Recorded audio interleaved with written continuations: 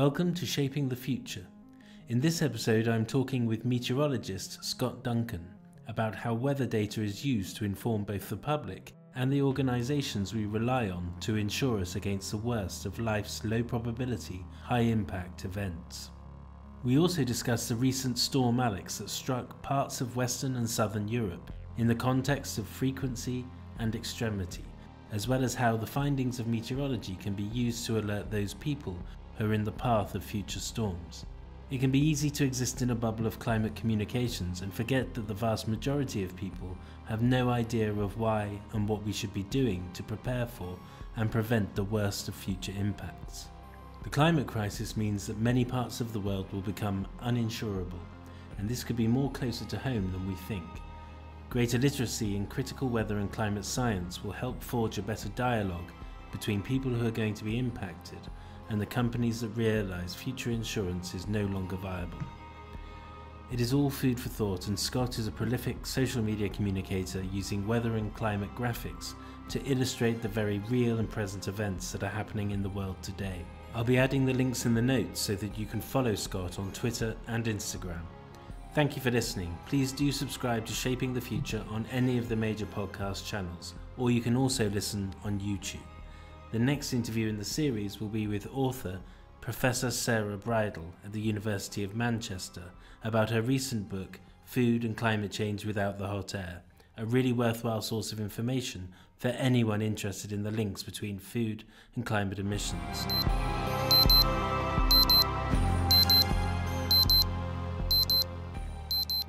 Scott, thank you for taking the time to speak to me today. One of the themes that I return to in the Shaping the Future series is how tangible extreme weather events have become in the last few years and how this new visibility is moving the climate issue into a wider public sphere. If we talk about those extremes now in terms of the wildfires in America, in the Arctic, Australia, many other places. Western Europe has felt like it's kind of in a safe zone. It's on the periphery of these disasters. And yet, Storm Alex, very recently, that impacted southeast France and northwest Italy, really demonstrated that those impacts can strike hard close to home.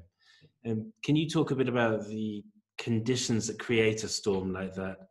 And are we likely to see more of this intensity closer to home? In, and I'm talking about a sort of Europe-centric zone. Yeah, well, that's sure. That's a it's a very important point about where climate changes are most profound. So Western Europe, as you said, it kind of feels like a almost a safe zone, or it's under a blanket, and not really seeing you know the wildfires the western half of the US has seen, or, or South America, and even Siberia in the Arctic. The changes there are so profound and people living there are having to adapt and, and we don't see that living here in, in the UK or Western Europe or, or the rest of Europe itself. So just touching on that is it's a very important point. But things like Storm Alex, it's an interesting one. And there's a lot of research in these type of storms. So they're not like a hurricane, they're not like a tornado. They're what we call a mid-latitude cyclone. And I don't want to get too much into the details, but science is showing that there's not much sign of these type of storms becoming more frequent. But when they do happen, their intensity is likely to be increasing as the planet warms through human induced climate change. So, what we saw with Storm Alex, it was technically a wind event. It was, it was very powerful in the English Channel, uh, northwest France, Brittany was seeing extreme wind gusts, brought down many trees, and was pretty disruptive locally. But it wasn't a huge, broad, widespread windstorm. It didn't like rattle through Europe and cause billions of pounds worth of damage. But when we saw the storm kind of become stationary and embedded in a very, what I would call almost like a washing machine area of low pressure, just orbiting around Western Europe, it just sat, sat there for days and days and days. And we saw huge amounts of rain, which was induced by the moisture coming out of the Mediterranean. And then it was hitting southern France and northern Italy. And it dumped, I think, several hundred millimeters of rain within 24 hours. And that's, uh, you know, record breaking for some weather stations in the area. And we saw like damage that was like catastrophic.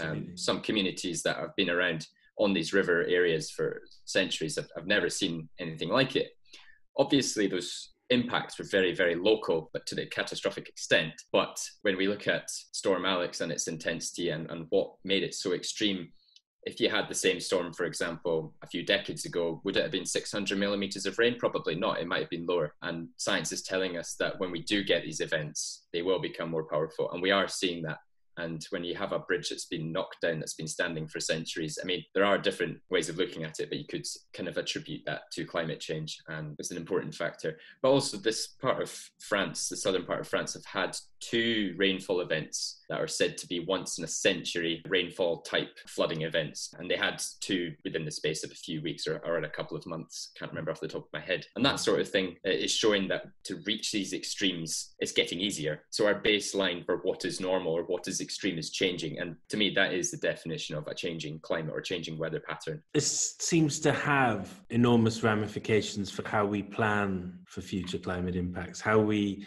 understand resilience.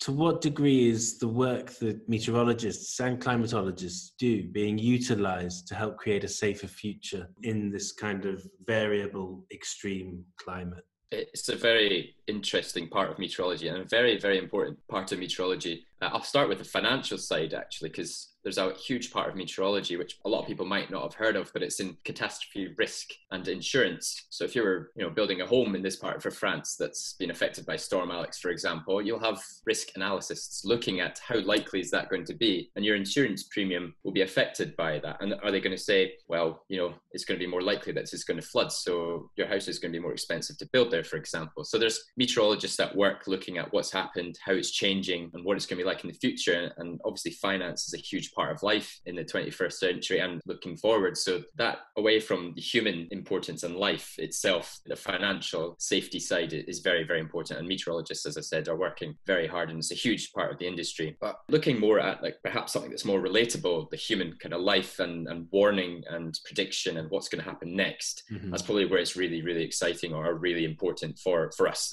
as a, as a species. We want to know how likely these are going to be just for our own safety. And I think the best way of looking at it or, or using an example Storm Alex is a little bit complicated because it's perhaps not as relatable as something like a hurricane or these things that really are making headlines across the world. If you were to build a life in a place that was susceptible to these storms, or we could use Alex, for example, Storm Alex, and you were told, you know, a couple of days in advance that there was a big storm coming and you're given enough warning to pick up your belongings and get out. And you come back the next day or, or a few days and, and you see that your entire house was washed away. And that information was life saving. So meteorologists are developing computer systems, weather models, and, and means of communicating these risks to people that are in these prone areas. And that is so, so important. And that's relying on technology advances as well. But it's also down to a huge part of communication. You'll hear a, a weather bulletin come in, and some people might not believe it because they say, oh, the weather person is always wrong. But if you heard that it was going to be like a, a catastrophic landfall of a hurricane or a, a, storm Alex type event, and they told you even 24, even six hours in advance, and you just got out and you thought, you know, they might be talking some sense. It's priceless, that type of information. So the work of meteorologists and climatologists and data scientists all behind the scenes have provided, you know, lead times that can help save lives. And that to me is just absolutely astounding.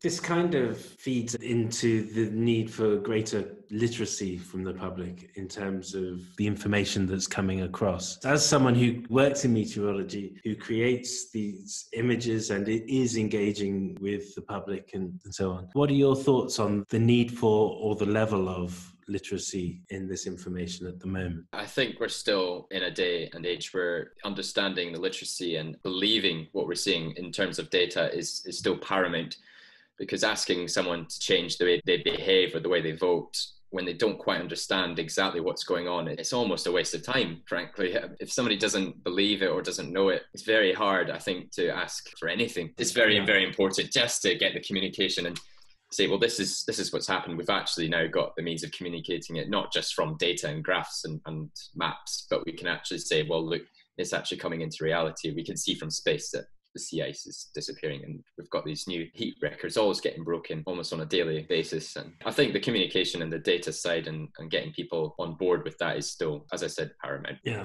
and it's interesting with the continual breaking of records it's almost a, a non-story and yet at the same time it is an absolutely insane story.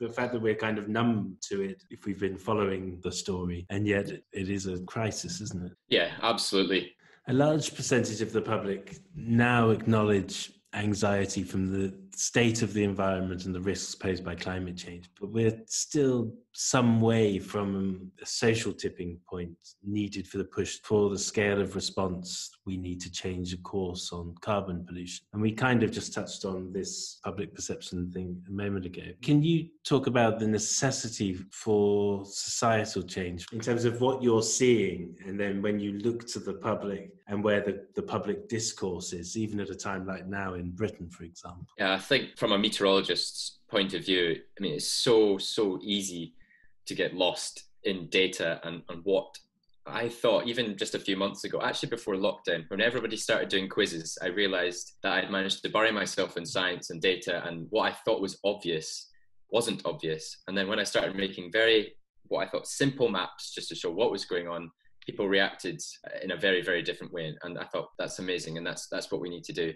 But as a, as a meteorologist, we really do need to just keep up with the communication of what's happening, but it's, it's also communicating it in a way that's very digestible. With the 21st century, if, if you're talking about a kind of 10 minute video on YouTube that's explaining what's going on, I'm afraid I think, in my personal opinion, a lot of people don't have 10 minutes. Their tube ride's only six. Or if you've got like a, a long article online, it'll be very interested for those that want to read it. But if those that are wanting to read it are wanting to adapt and change, they will. But the people that, like the majority that probably won't read it, are the ones that really need to actually read it. So you need something that's that's more and quicker and faster. Yeah. To, so I think it's combining many different things because it is complicated. There's a lot of data and it's it's difficult. Yeah, from a well, meteorologist standpoint, it's still it's still all about getting what's happening into a nutshell without taking away the important bits. Yeah, and we seem to be, as a society, talking about climate change now. It's not a taboo subject, but it's it seems to be this idea of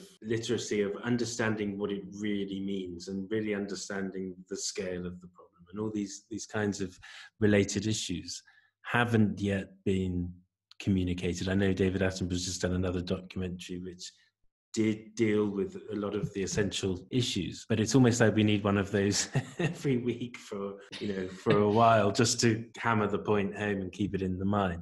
Okay and when you're producing your work is this something you're just going to keep going with it or are you going to develop it in other ways? Because your following online is growing and i imagine it'll continue to grow when you know, more and more people start trying to figure out what's going on. Do you just think that all you need to do is, is keep producing the current data yeah, I have thought about it, but not too much. I didn't really think about it until recently, because I think it is almost you could almost have a full time job updating every record that falls, and there's there's good things and bad things about being all over the subject all the time. But the, broken record type situation can numb people to the facts, and that's something I definitely want to be careful of. And also equal reporting that you know we're in a, a day and age where you should definitely report scientifically and if there's a hot record you know you want to report the cold ones as well but just for example 2020 there's been over 100 heat records but there's only been two cold or minimum temperature records so again going off topic but the what's going to happen with what i want to do and, and where i want to go i've obviously got a, a full-time job in meteorology but if i was to then start investigating different ways of engaging people with these graphics because i've now kind of started to animate them or spin the globe round and you know people love that because they can see their place on the map and it's mm-hmm. showing not just the world as a you know a 2d flat picture. You're, you're kind of getting something that's striking and people's eyes are just drawn to it. It's almost like a it's almost like a movie's on in the background in a room and you'll notice it a lot easier if it's moving. And I've, yeah. I've just found that by by doing that and I can see the response to that. So I'm, I'm, I'm, learning from what people react to. And I think I'll start migrating into different types of showing data, um, maybe different forms of communication. I've thought about different, maybe bringing in videos and, and things like that. But you've always got to be careful about not to detract from your, your main purpose. So I have been thinking about it and I'll continue to think, but um, I guess watch the space. okay.